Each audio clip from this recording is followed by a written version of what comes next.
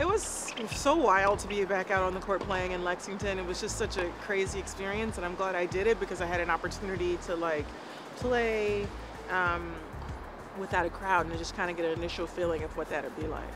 Yeah, I'm feeling good physically. All my matches was three long sets over two and a half hours. I'm like, that's usually my whole tournament worth of matches. So it was intense, but it was good. I feel like I got, instead of three matches, I got like eight matches out of that. So it was really good to be back out for the first time. I hadn't played anything at all.